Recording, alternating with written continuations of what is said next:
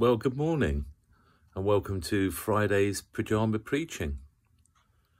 From me sitting on my bed in my bedroom in my pyjamas. And I wanted to just reflect a little bit on social loneliness. And we've all been through it now with the uh, the COVID lockdown and shutdown and releasing and going back again. And um, now following the transplant, the leaflet I had as when I was leaving spoke about COVID and self-isolation. And as a transplant patient, I now, or they strongly recommend that I self-isolate for 12 weeks following discharge of hospital. So I'm back to lockdown again, big time. In Genesis, it says it's not good for man to be alone. And all things in Genesis that have been named were approved of God to be very good. Loneliness is the first thing which God's eye named not good. John Milton wrote that in 1645 at a time when he was going through great personal loneliness.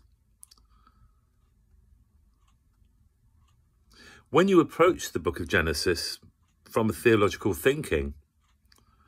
The profound truth of the message is that for humankind, loneliness hinders personal and communal flourishing. Think of the difficulties we're having with Zoom church. Even though it's wonderful, we miss some of the communal social interaction. We see both in Genesis 1 and Genesis 2 two different, rich, bountiful creations emerging in each of the stories. But when it comes to humanity, God declares that there's something missing. And he says it's not good for man to be alone. And God wants to make a helper for man. Genesis 2 verse 18.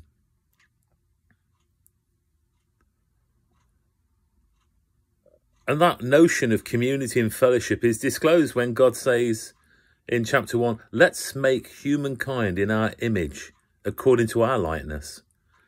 Therefore, we believe that we are made in the image of God and we must recognize the importance of that inbuilt need for fellowship with one another in order to thrive. So the deep truth in the story of Adam and Eve illustrates that God intends for us to share our lives with others. And the value of personal relationship in God's eyes is emphasized by the amount of space devoted to them and to the fellowship in Scripture. We've got an innate desire built into our DNA to be loved and to belong as full members of society, and loneliness denies people this intrinsic human need. And the Gospels are full of stories of hospitality, fundamental feature of Judaism. And there are many examples too of Jesus overstepping the conventions of the day to engage and minister to those on the margins of society, to bring them back into fellowship with their communities.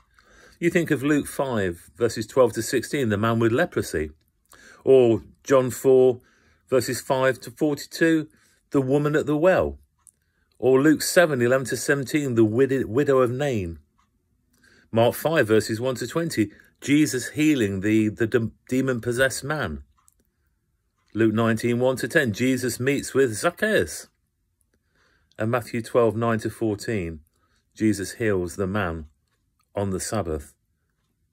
And even when Jesus is hanging on the cross, there's a recognition of a deep human need that must be met John 19 says this, that when Jesus saw his mother there and the disciple whom he loved standing nearby, he said, Woman, here is your son. And to the disciple, here is your mother. From that time on, this disciple took her into his own home.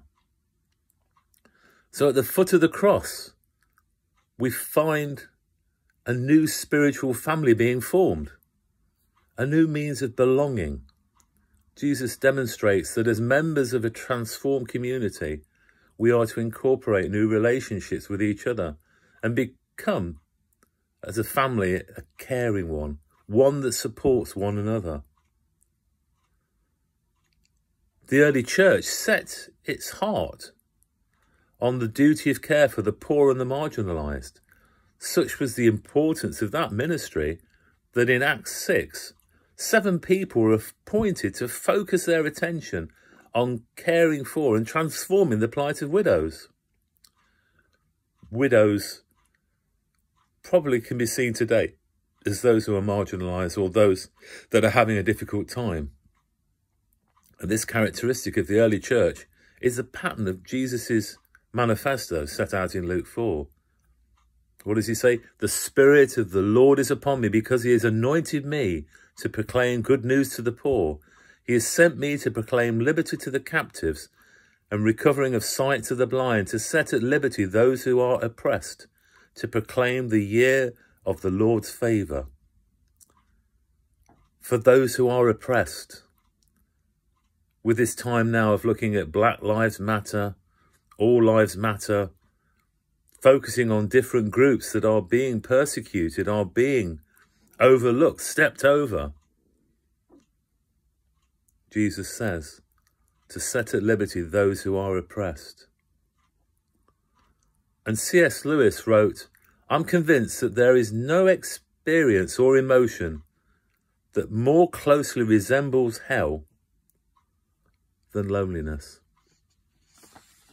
And so during this, this COVID lockdown and this de-locking down time, give a thought for those people who have actually not been out for nearly a year or over a year. And what about those that are locked down all the while? Before COVID, people couldn't get out. People were shut into their own homes, looking out of the window and maybe the postman was one of the only contacts that they had. And Jesus gives us a nudge in Matthew 25 where he says, Truly I tell you, whatever you did for one of the least of these brothers and sisters of mine, you did for me. So he gives us a real strong challenge that, yes, we look into ourselves and go, oh dear me, this is tough times. But look outside. Look beyond your own situation.